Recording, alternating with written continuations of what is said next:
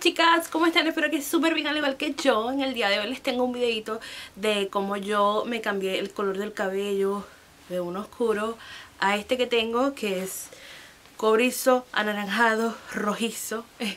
En inglés se le dice copper, pero cobre, pero el cobre tiene muchas variantes, tú puedes agarrar un cobre que es como que chavito, puedes agarrar uno que es rosado dorado, puedes uno agarrar que es como más rojo, strawberry, o puedes agarrar un, cobre como más naranja, que es lo que yo tengo. Arriba se me ve, aquí en esta área se me ve como bien neón y aquí se me ve más cobrizo. Inicialmente yo estaba buscando este tono en todo mi cabello, pero eh, pues ocurrieron un par de cositas y en realidad me encanta el look o sea, es un tono, yo creo que era el único que no había tenido en mi cabello, ya que yo había sido pelirroja, rubia, amarillo pollito, horrible este, marrón con highlights, este, pelo rosado, magenta, violeta, burgundy, azul, este, se me mezcló medio verdoso después cuando se me deslavó un color, o sea, he tenido todos los colores y este me encanta después de haber sido pelinegra por cuatro años, necesitaba un cambio y me armé de coraje, dije, Bianquita, olvídate, vas a tener tu cabello bien, si tu cabello es como que súper saludable y gracias a Dios así pasó. Así que nada mis amores, en este video les voy a mostrar el paso a paso y también les voy a explicar lo que yo hice. Lo que les digo es que estoy utilizando luz natural, así que esperemos en el Señor que no me caiga el sol encima, o sea que no se me vaya. Ok, lo primero que ustedes deben saber es que yo tenía el pelo negro, blue black, jet black por cuatro años. Utilicé eh, color Oops para remover esa capa primera de negro y eso me dejó un tono marrón en el cabello. Tenía mis raíces y tenía un tono marrón dark brown en las puntas. Lo que se me hizo bien difícil remover porque pues el, eh, las puntas eh, absorben mucho el color porque está más poroso abajo. Así que eso lo hice en febrero, eh, lo removí con Color Oops, les voy a dejar en la parte de abajo el video, lo tengo en inglés y español, este de cómo lo hice, súper fácil, no te daña ni te maltrata el cabello, Color Oops es un removedor de cabello que sí apesta y te deja el pelo seco, pero con una mascarilla se resuelve. Nada, fuera de eso, luego de tres semanas más o menos, dos o tres semanas, yo decidí este removerme el marrón que me quedaba bleachando mi cabello. Así que compré de colorante BW, B, B2, algo así, W2, algo así.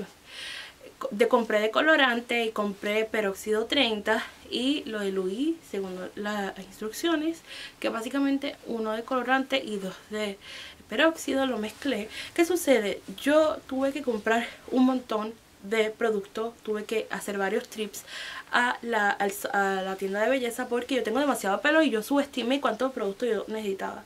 Así que yo tuve que mi recomendación es que siempre que tenga que ver con pelo tengan más que menos a que les falte porque van a tener que salir corriendo como las locas yo con, con el aceite de coco en la cabeza salí la señora se me quedó mirando como que quién es esta este porque pues no tenía producto así que gasté más dinero etcétera lo mejor hubiese sido comprar la tarrita de, de colorante y el peróxido grande y se acabó pero nada, compré los sobrecitos y, me, y dividí el cabello en cuatro partes.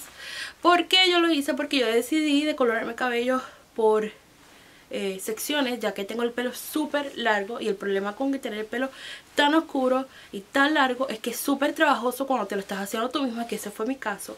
Yo me lo hice yo misma y realmente es muy trabajoso. Y aparte de todo eso es que el hecho de que yo tenía varios tonos en el cabello porque se me quedó marrón aquí en la parte de abajo pero más claro en la parte de arriba y ustedes saben que las raíces se, se agarra bien rápido yo tenía como tres tonos en el pelo. El color Oops me dejó como dos o tres tonos en el pelo. Y luego yo me apliqué un tono cobre que por eso se me hizo así como que cobrizo la cabeza arriba pero eso eso les deja saber que luego del color Oops yo removí ese tono y después me tiré un cobre yo tenía varios tonos y el problema de tener varios tonos en el pelo es que es bien difícil de removerlo parejo. Te vas a ver, te vas a ver, o sea, te las vas a ver negras, como decimos en Puerto Rico. Así que yo dije, ok, si voy a hacer esto, lo voy a hacer por partes.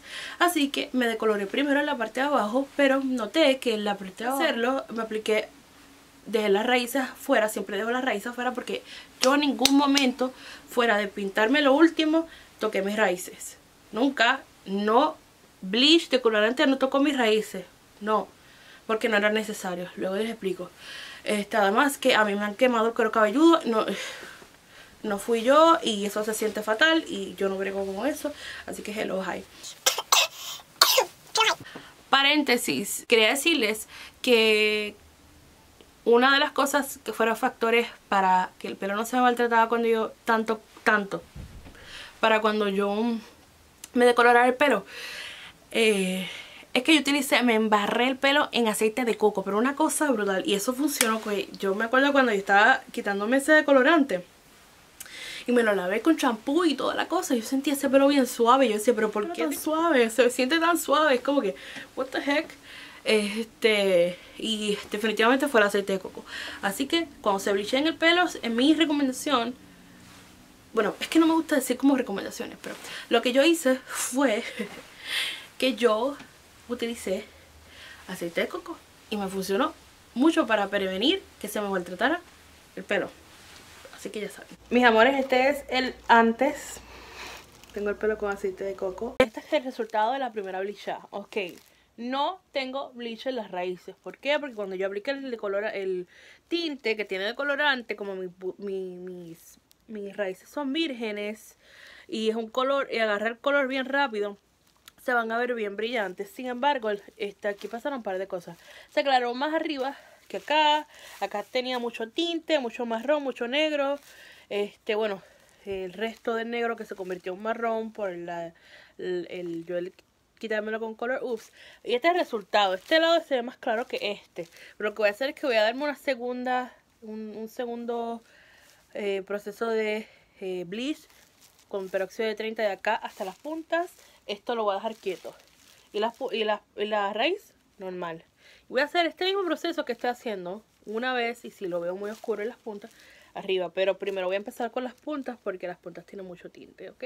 La cosa es que yo me decoloré, me dividí en cuatro partes, eh, hice la mezcla, me decoloré estos, las dos primeras partes en la parte de abajo para ver cómo se comportaba el cabello, qué tal se, se descoloraba, cuánto tiempo tomaba, si se me maltrataba, si se eh, decoloraba, si se removía el color uniformemente y si se decoloraba uniformemente. Primero tenía que yo de, este, removerme el tono marrón, por eso utilizo el bleach para remover eso y levantar un poquito el tono. Entonces, por eso yo no quería ser rubia, porque yo lo que quería era remover y quizás levantarme un nivel, pero dos, varios niveles, pero no rubia porque si no se me maltrataba el cabello, así que eso hice.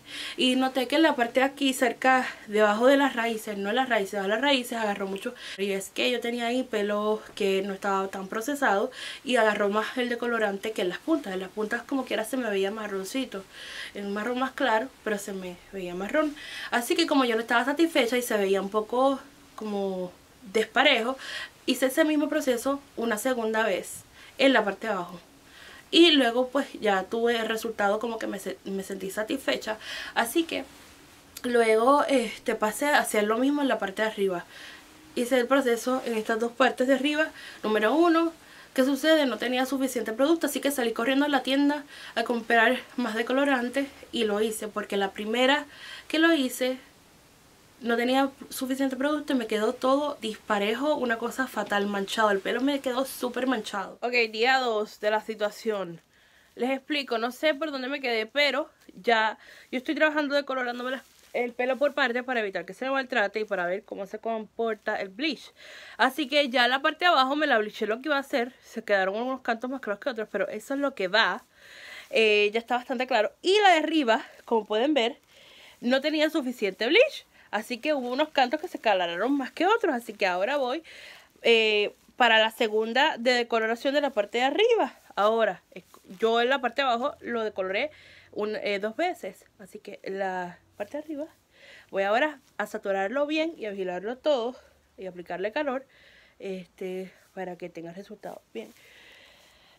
Mi misión no es que quede perfecto, es que pues todo esto se junte, así que voy a aplicar el bleach de acá por acá, en unas áreas donde está bien oscuro, etcétera, evadiendo las raíces.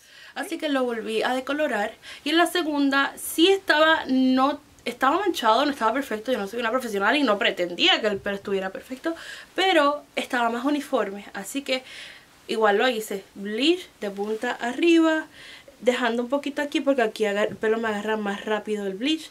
Y obviamente las raíces para nada.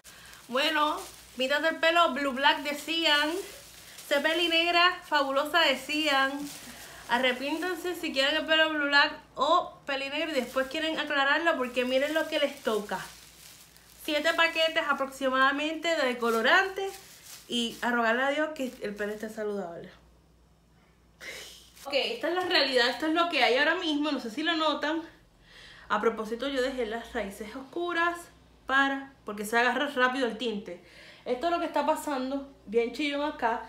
Se aclaró todo el pelo, se aclaró, no sé si lo notan, que es un tono como, ¿cómo se dice? Como ah, cobrizo, ¿no?